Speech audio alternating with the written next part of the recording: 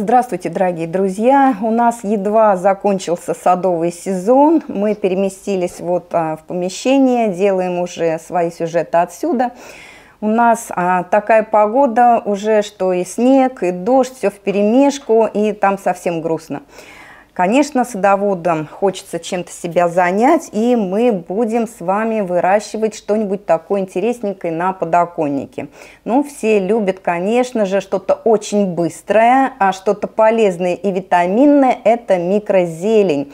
И а, я вам хочу представить компанию, которая а, выпускает семена микрозелени и не только микрозелени под названием Ильинские проростки. Но про микрозелень уже много-много раз мы рассказывали, а я вам сегодня хочу предложить посеять томатики, карликовые томаты черри. И дома их можно вырастить даже в зимний период, получить плоды, если пользоваться а, лампами. Вот кто думает, что а, будет досвечивать ну, какими-то обычными совершенно светильниками дома, то я хочу вас разочаровать, ничего не получится. Для роста микрозелени, может быть, этого будет и достаточно, а вот для того, чтобы было цветение и завязывание завязывались плоды, да еще созревали, вкусненькие, красивые, это, конечно, должна быть какая-то определенная лампа. Вот а, такая лампа у меня есть. Здесь вот, э, смотрите, она светодиодная. Длина у нее 1150 э, миллиметров. То есть это на стандартный проем окна как раз хорошо встает. И э, эта лампа дает правильный спектр, который обеспечивает именно и накопление витаминов, если идет речь о микрозелени, а, и там они такие дружненькие все, красивые, зелень не вытягивается, бодренькие стоят. А если мы говорим про томатики, то у нас будет и цветение, и плодоношение.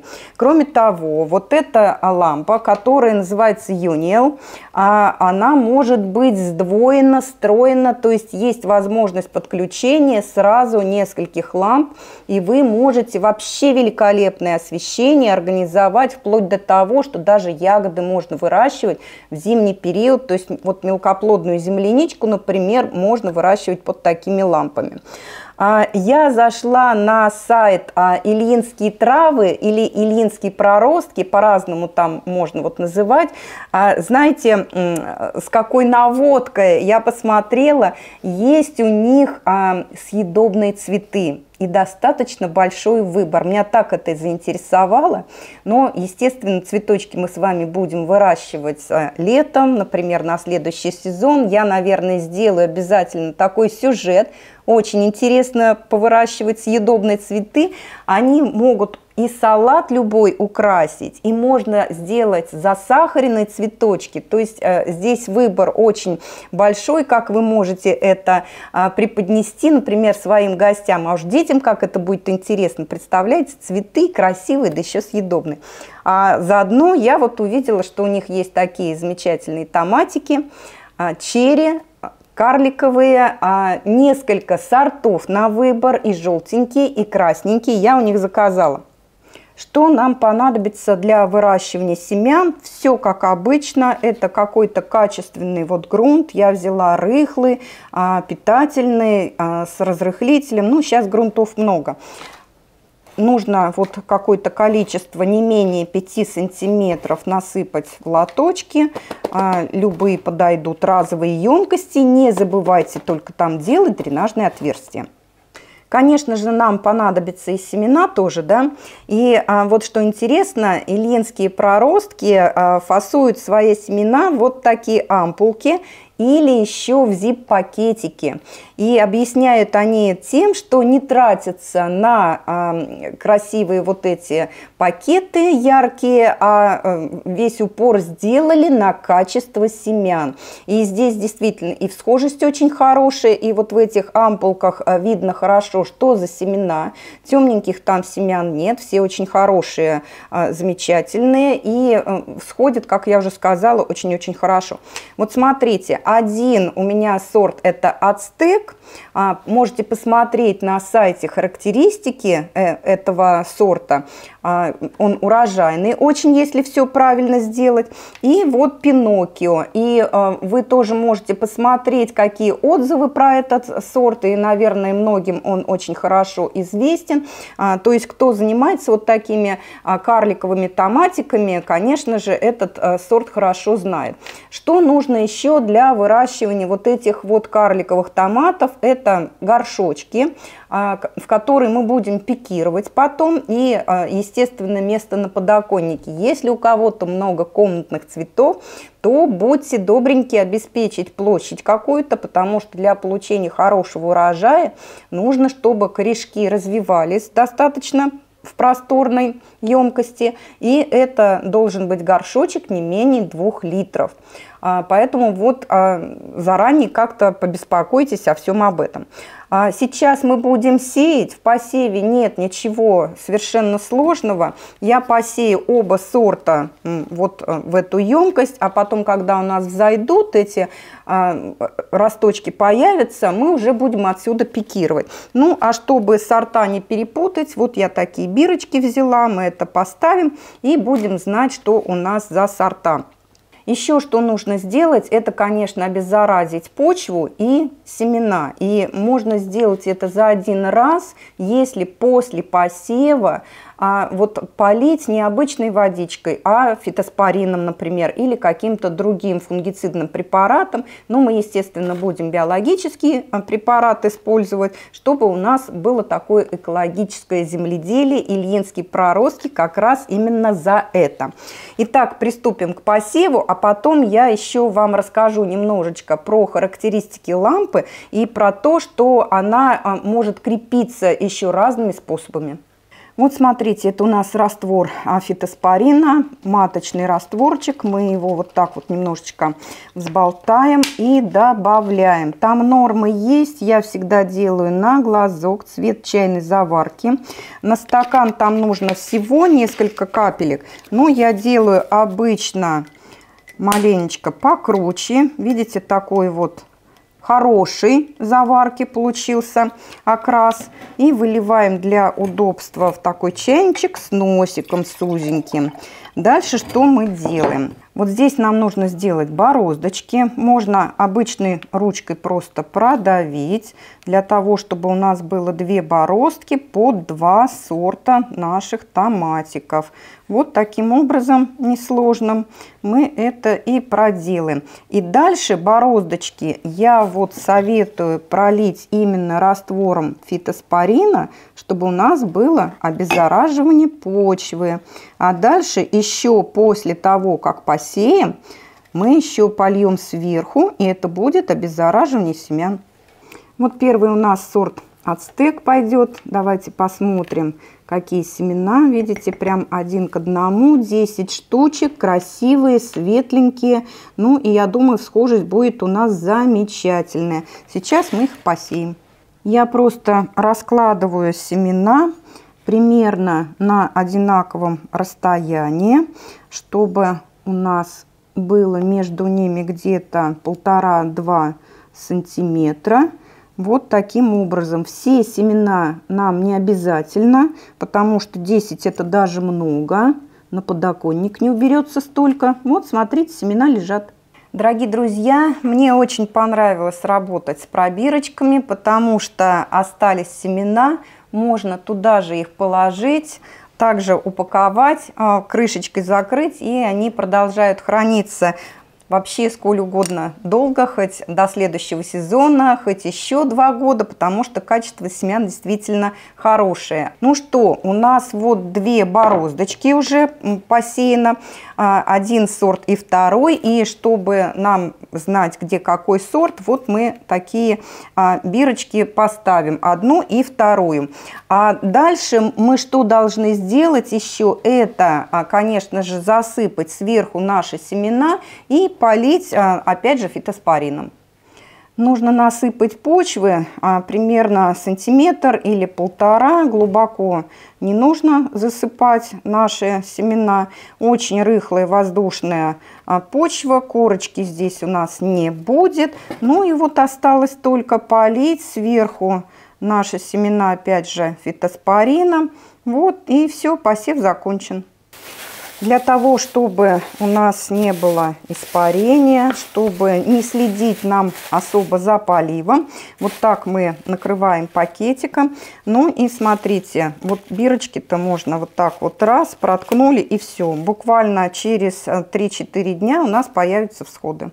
Ну что ж, мы закончили с посевом. У нас еще остались семена на следующую порцию, когда нам захочется. Между прочим, вот такие томатики карликовые можно выращивать а, не как однолетнюю культуру, потому что у нас а, в квартире всегда держится хорошая температура для выращивания а, вот таких плодовых растений. И если омолаживать растение, если правильно за ним ухаживать, то такой томатик может и два года прожить. Вот а, эти семена вот в таком zip-пакетике э, мы можем хранить. И сейчас мы более подробно поговорим про лампу. Еще раз, дорогие друзья, вот всем говорю о том, чтобы а, вы присмотрелись а, к этим специализированным лампам, потому что а, плодовые растения, они более требовательны к освещенности и к правильному спектру. И здесь как раз вот даже на коробочке, вот посмотрите, коробочка здесь такая, и вот написано и нарисовано а, на картиночке, какой спектр. Если смотреть а, глазом, то он розовый. Мы сейчас включим эту лампу, и вы увидите. Здесь а, 68 таких маленьких лампочек, светодиодов, а, и они дают очень хорошее освещение. Если у нас а, лампа стоит на расстоянии 30 сантиметров, это покрывается площадь 1,2 квадратных метра. Если мы поднимаем выше, например, у нас не рассада, а какие-то комнатные растения, которые тоже требуют досветки, то у нас площадь освещения получается 2,4 квадратных метра. То есть вот не только для рассады можно выращивать эти лампы. А для каких растений можно сейчас вот ее использовать? Посмотрите, вот она а, очень такая себе симпатичная, а, не портит она интерьер какими-то габаритами объемными, да? Вы можете ее а, прикрепить и на полку куда-то, между полками, если у кого-то, например, коллекции фиалок, да? Вот для того, чтобы они в зимнее время цвели, в октябре, в ноябре, ноябре, когда темно, вообще самые темные месяцы, да, нужно, конечно, вот использовать такие лампы.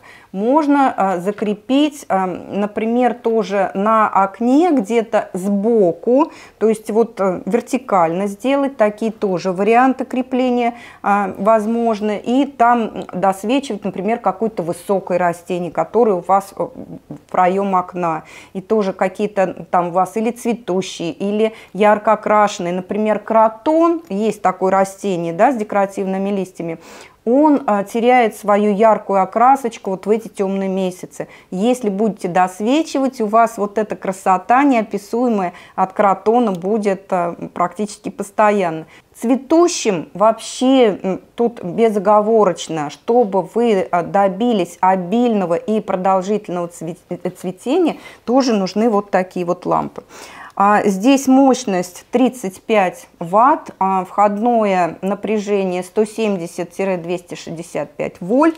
Ну и остальные характеристики вы посмотрите вот здесь на упаковочках. Здесь все написано и вы можете подобрать себе вот э, лампы. Там немножечко есть э, варианты разные. Именно на сайт зайдите Ильинских проростков и вы увидите. И вот здесь еще картиночки, как а, с помощью этой лампы лампы можно выращивать и микрозелень, и цветы, и рассаду, и она более качественной получается, чем при использовании обычных каких-то ламп или вообще, если вы э, пытаетесь вырастить без досветки. Ну, а вот смотрите еще, дорогие друзья, я вам говорила, что эту лампу можно а, сделать, чтобы и она двойная, тройная была. До пяти ламп можно подключать.